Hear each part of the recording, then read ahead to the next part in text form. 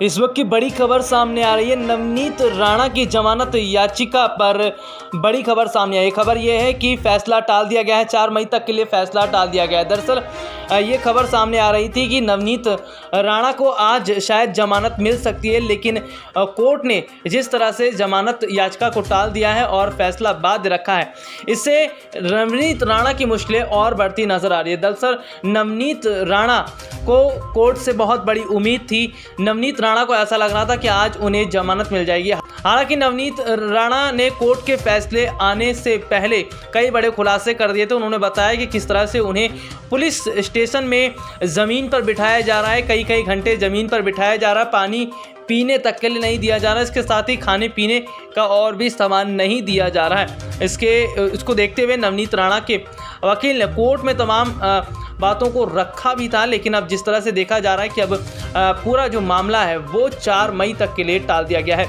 S P news room की report.